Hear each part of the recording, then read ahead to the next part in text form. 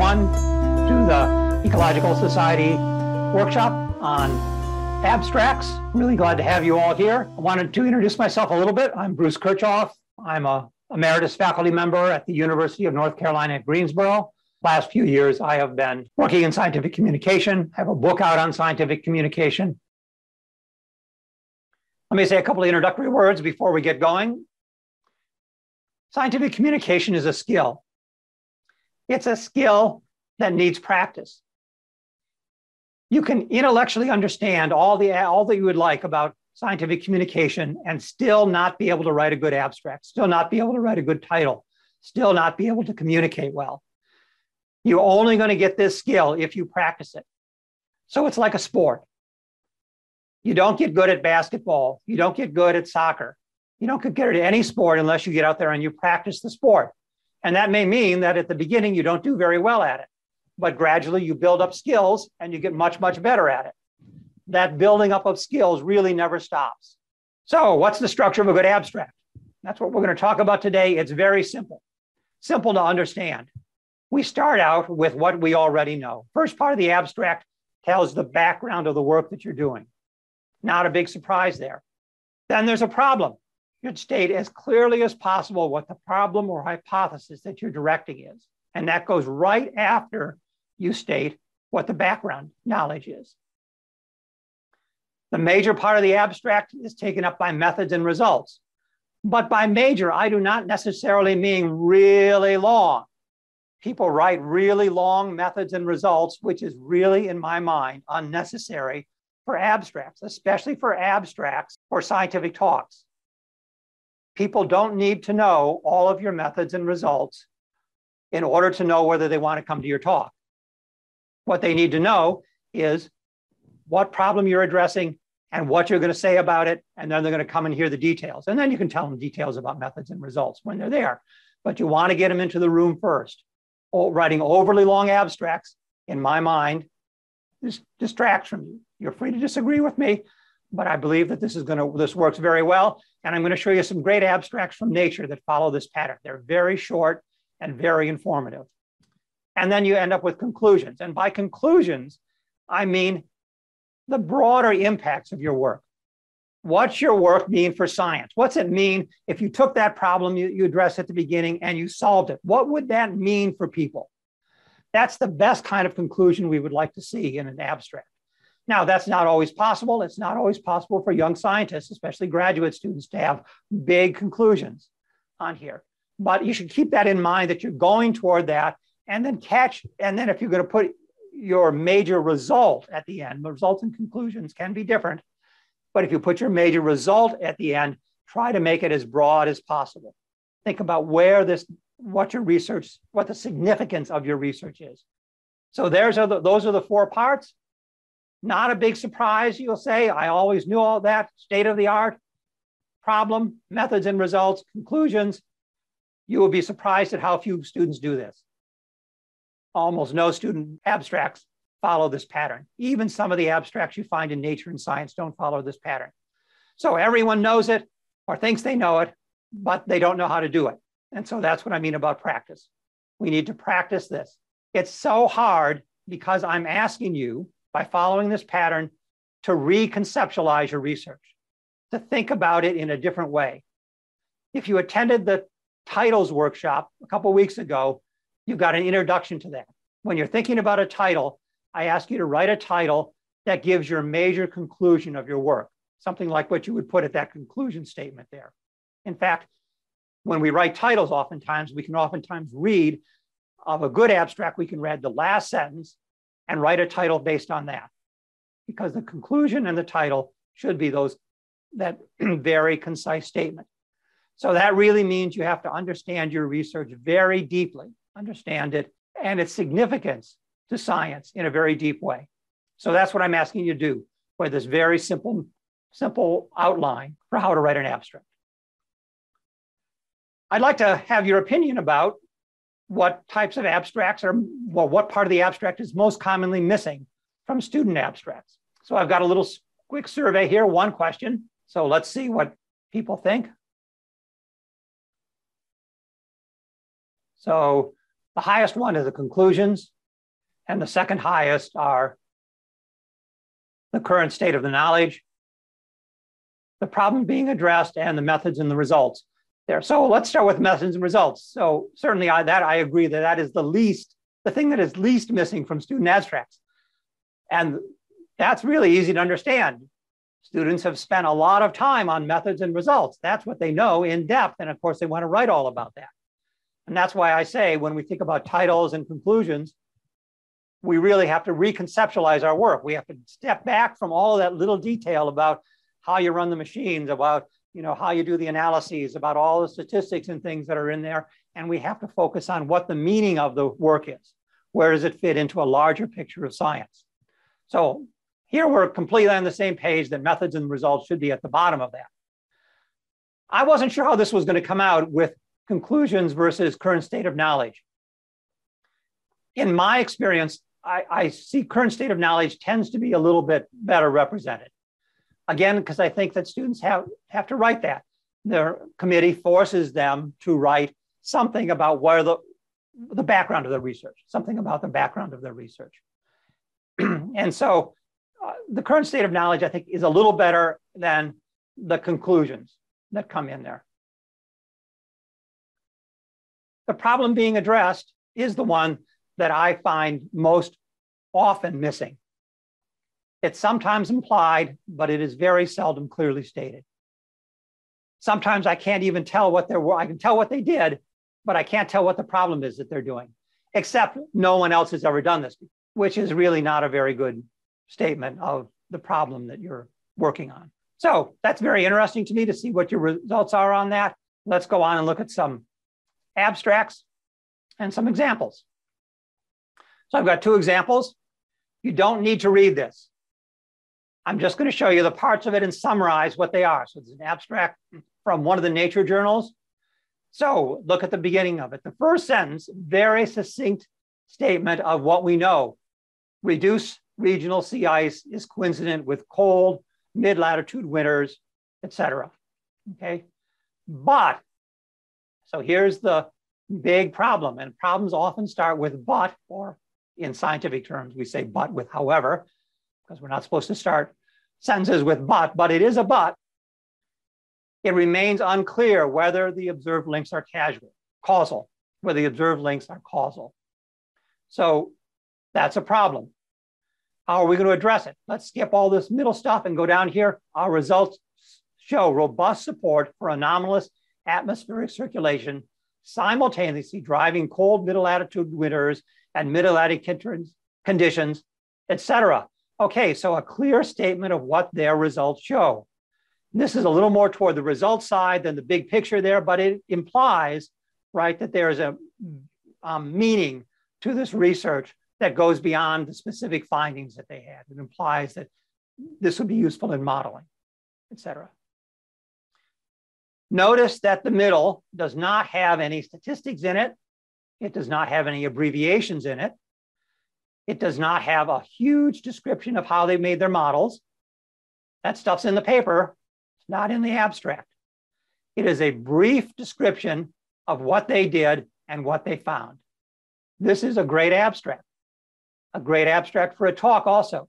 Someone outside of your field can read this abstract and quickly understand what you're doing without getting bound, bogged down in all the observations that you made, in all the methods that you used. There's a place for those. I don't believe it's in the abstract. We'll look at an abstract where people give so much data in that middle part that the abstract is almost unintelligible, even for people who work in that field. There are so many abbreviations, so much technical data, you just can't understand what the takeaway message is. What do they want me to learn from that? So here's the thing you are not speaking to your committee when you come to the Ecological Society of America. You do not have to prove yourself that you know your stuff. You are up there in front of an audience, and they are going to assume that you're an expert unless you show them that you're not. You do not have to prove that you know how to do these techniques. You have to prove that to your committee, but that is not the Ecological Society of America. That is not their role. Their role is to come there and learn about what you've done and hopefully to learn something new about ecology from you. So that's what you want to tell them what you did, what's new about it, and You can go into detail about your methods and your, and your results in the talk, but not in the abstract. It doesn't need the abstract. Abstract is there to get them in the door. So those are the four parts done masterfully in this research from Nature Climate Change. Here's another one, another Nature journal, Nature Plants. Again, we've got the background, it's relatively short, reduced insect populations found on long-term organic farms have mostly been attributed to increased biodiversity, et cetera. The background information that we need to understand what their problem is that they're addressing. The problem, the role of plant resistance has largely been ignored. So there's a problem with the previous research. Let's try to fill that gap. They talk in the middle about how they did that and briefly their results. And then they summarize it at the bottom here organically managed soils and microbial communities may play an unappreciated role in reducing plant attractiveness to pests by increasing plant resistance. And look what they did with that information at the top. They turned that into their title Organic Management Promotes Natural Pest Control Through Altered Plant Resistance to Insects. Beautifully clear, simple to understand. Even if you know nothing about organic management, you don't care about organic farms, you read this abstract you say, I might like to know something about this. It is so clear. That's what you're trying to find. That, so that's what you're going for. A very clear statement of what your research shows and the significance of that research. Don't worry about the length. Scientific societies often give you a lot of space to write your abstracts. You do not have to fill up that abstract. I know that I felt it every time, so you're probably feeling it too, that you have to have an abstract that fills those number of words. That is not true. There is no abstract police. No one is going to count the number of words in your abstract. No one is going to come to your talk because there are more words in it. They're going to come to your talk if they understand your abstract, and that can mean fewer words. Einstein famously is reported to have said, if you can't explain it simply, you do not understand it well enough. I have found that to be very true in my own work. And I wish that I had started working on it when I was young, started explaining my research simply. I understand it much better. Other people understand it much better. I encourage you to do the same thing. Think about your research in simple terms. Simple meaning, don't go on too long. Okay, what we have got now is a set of journal articles. So, what I'm going to ask you to do then is choose an abstract. I'll just open the first one here. And you see the instructions are in each of the abstracts. You're to go in and you're to highlight the parts of the abstract that show the different parts of that we've just been talking about. So same color scheme I just used, yellow for introduction, pink for the problem, gray for the conclusions, and the stuff in the middle will be the methods and the results. We're back. And we'd like a volunteer to look at, let's look at some of the abstracts. Both Maria and I work on the same one together, number four. So for whatever that's worth. Plant evolution. Maria, do you want to go ahead first? Yeah, really, we read it truly and we thought that um, there was, uh, we highlighted the most, the three important parts, but however, we thought that the, it was quite incomplete, a lot of senses uh, just for the word count. And it was not clear uh, what is the background and how they clearly separate both the background and their question. It's not, it's not clear for us. So they, they really synthesized everything in one sentence, and we thought it was too broad because it's not clear what has been done previously in terms of uh, pollination and plant herbivory and how this drive plant diversity. And yeah, that's kind of it, more or yeah. less. And what about the um, overall conclusions? Were they results or were they broader conclusions in the very end? I felt like it was, I tried to pick one, I said it's more results. They mm-hmm. did try to talk about conclusions, like, you know, this importance of this crosstalk between both types of interactions. But I almost feel like it was a last minute slap it on instead of a mm-hmm. forefront forethought from the beginning of writing that sentence? Yeah, so you can see how difficult this is. I mean, this is really great research and published in a very important journal. And it's still very difficult to think through your research in a way that clearly presents it to a reader who is outside your field. So I think you've done a good job in identifying what they what the background is here and what the problem is. The, the problem is kind of implied that it need they need to be studied together. These two factors need to be studied together. They don't say why. They don't say why the importance of that is. So there's a little bit of that, well, no one's ever done it before aspect, which is a very weak reason for doing research. I'm sure that there are reasons here why they should be studied, they shouldn't be studied in isolation, but they just don't say it. And the same thing with the overall conclusions here. Um, and they are more a little more results oriented than looking at the broader picture of what this means. And you can kind of see that there's a relationship there between a failure to have a really clearly stated problem and a failure to have really to look at how that problem affects science and more generally, what it affects broader outside of your results. So that, pro- that problem or that inclusion of an important problem is very important. And I think it's the thing that is all, very often missing is a clear statement of a, the problem that you're being addressed. When it is there, the abstracts get very easy to understand. And I think we'll see some others where it's more clear than this one. Great. Well, thanks so much for volunteering. Great analysis. Do we have someone else who would like to do, do one? Who did insects in deadwood? Number 22. Yeah, I can talk through it. Great. Thank you. Um, yeah. So the first two sentences seemed like some introduction, background information. And then the problem identified was um, a lack of understanding about the contribution of insects the decomposition of deadwood and carbon release. Um, and then they had a very technical methods and results section that probably went a little bit too into depth. And then their conclusion was that there was a functional importance of insects in the decomposition of deadwood in the carbon cycle, which does relate to the problem they identified, but um, it seemed pretty non-specific to me. Um, I'm not really sure why this matters, why exactly they were doing their research. Yeah, so it could have been a little bit clearer. It's still better. It's still a little better than the last one I think we looked at, in that they identify their problem a little more clearly. And that lets them, in their significance sec- section at the very end, it lets them be more specific about what the significance or the conclusions of the research are.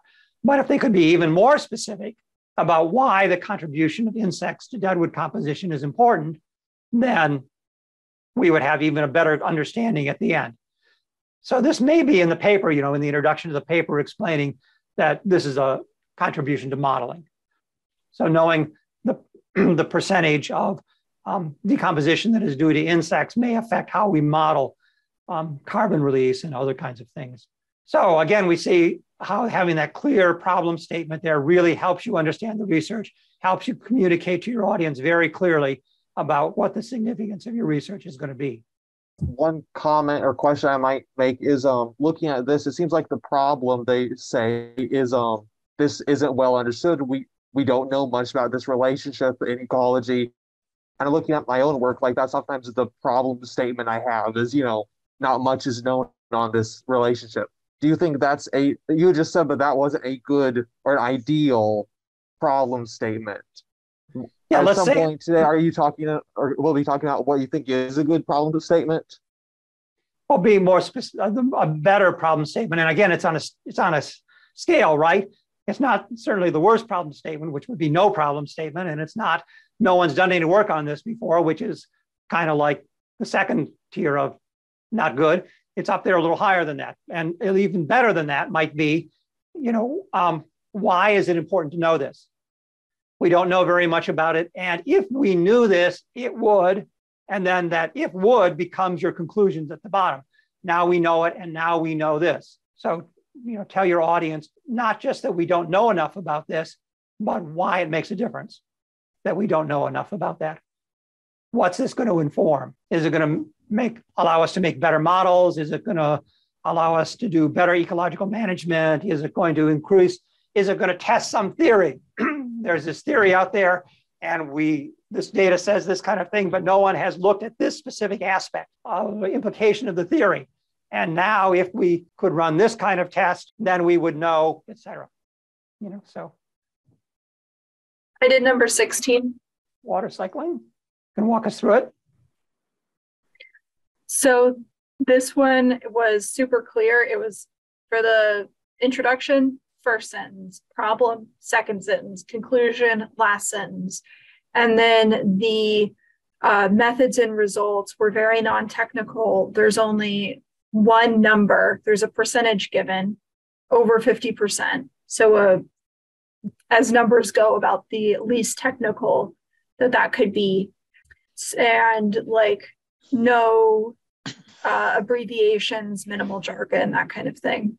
I think also the problem statement, so it's definitely like the second st- sentence, but then like kind of bleeds into the third sentence a little bit, like the first half of the third sentence. I wasn't sure if a like lower bound estimate of the contribution of uh, bedrock water storage to transpiration across the continental US would count as as part of the problem statement.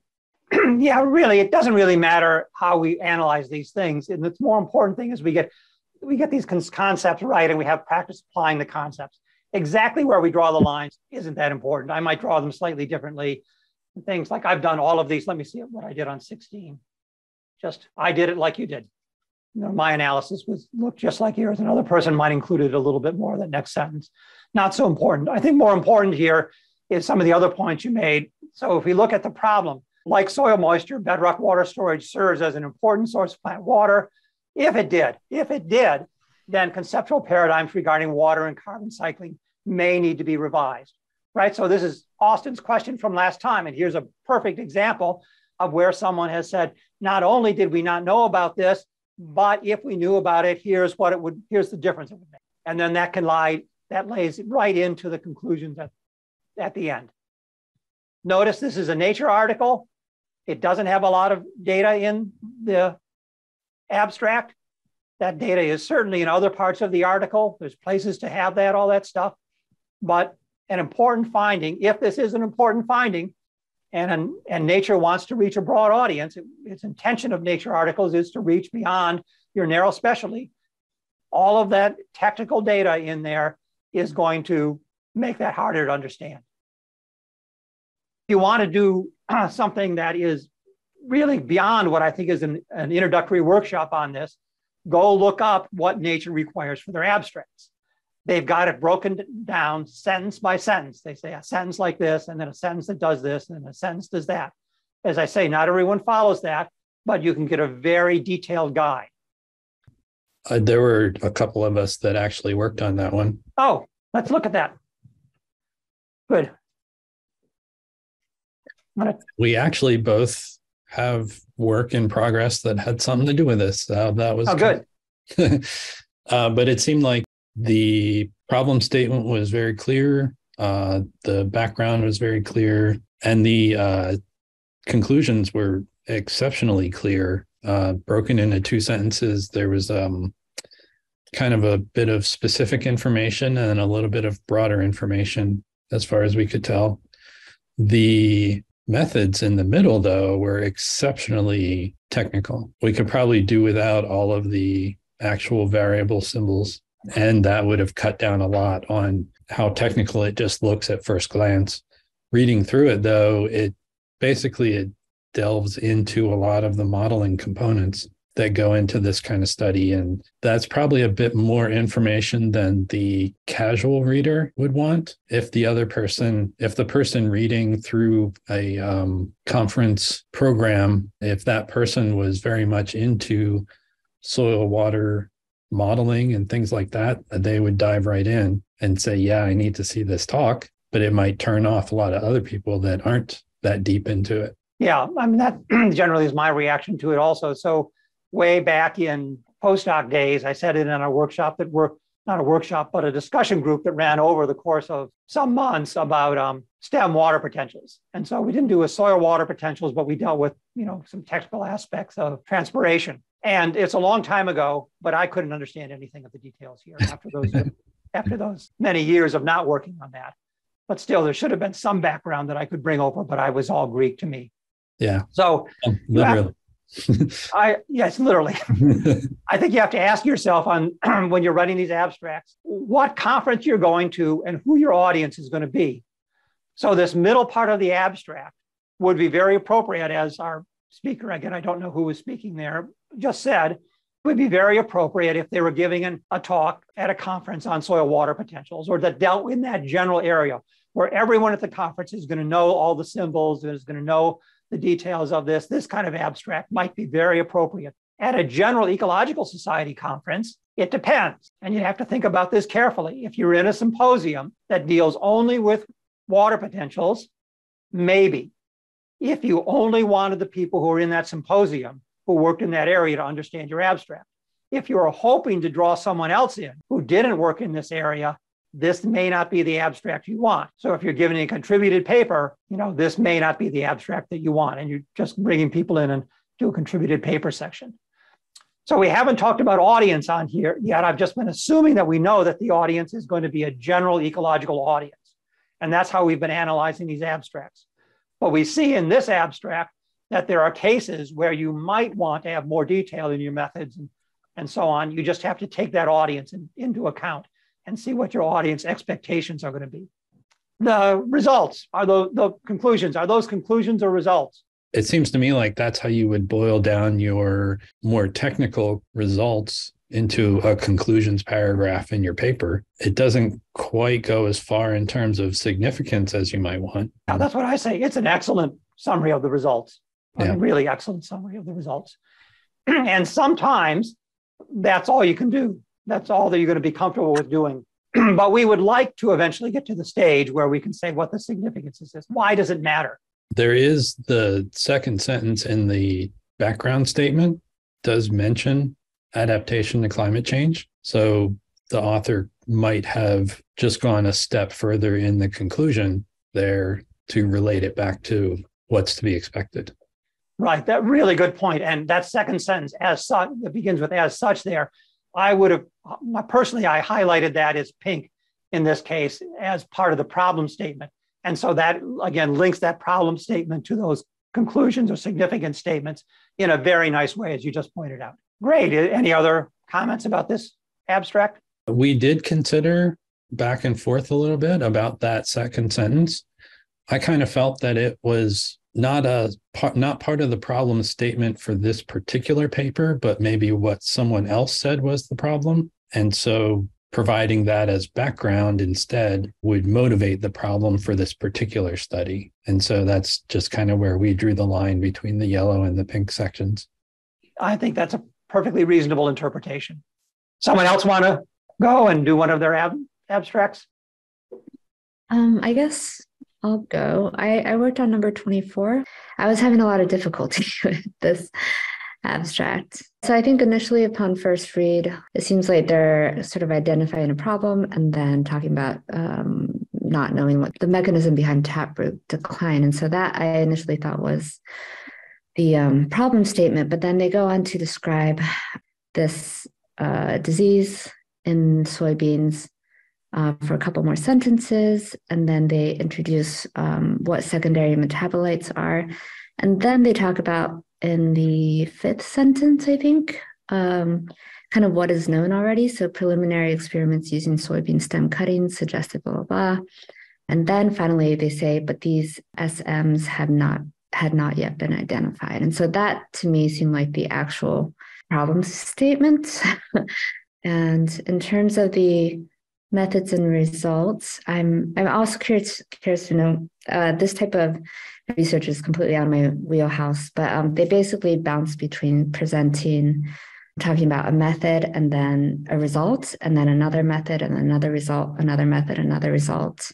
And I'm wondering kind of what your take on that is if if structuring, you know, a methods result section of an abstract is is works you know in this situation or is it usually better to group all of your methods together and all of your results together? And then finally the conclusion is just that very last statement i believe. So the identification of sms capable of causing just an important role for these sms in the etiology of trd i don't think it's the strongest conclusion.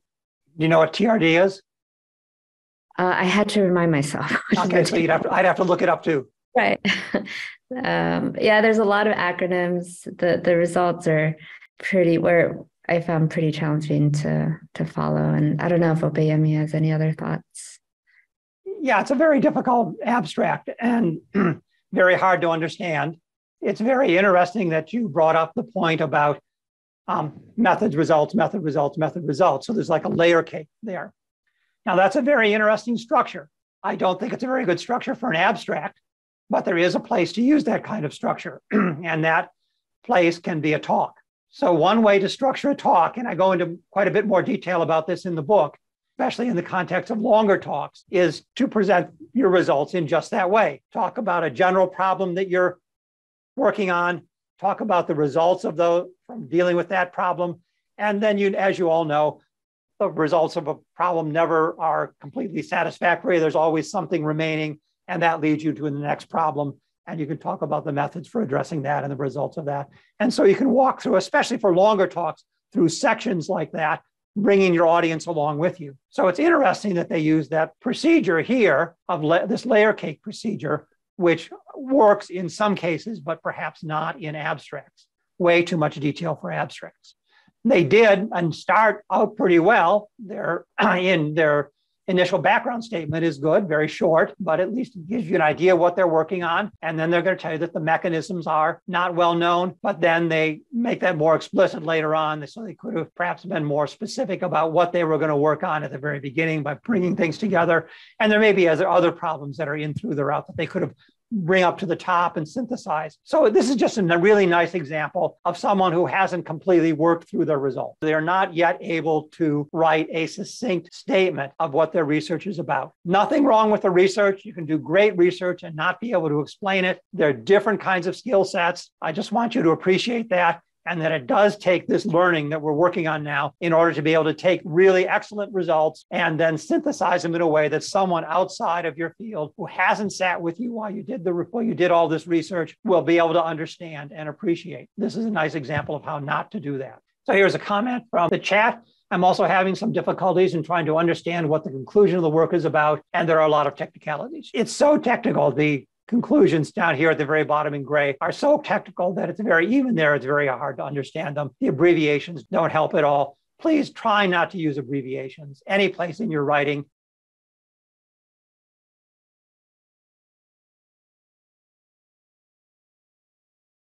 Here's the visual summary of what we've done today. Just remind us, I think you all have got this very well understood at this point and have got some experience now applying it in a number of different situations and thinking through some different aspects the first part, the current state of knowledge, the problem that you're addressing, methods and results, which can be relative, pretty much abbreviated for an abstract, and then the conclusions, or we could say the significance of the work. What's what we're really going there, or what's the bigger significance of this work? What's it mean to someone who didn't do the work, who might work outside of your field? And I just remember I do have this book out there I'd like to take a look at.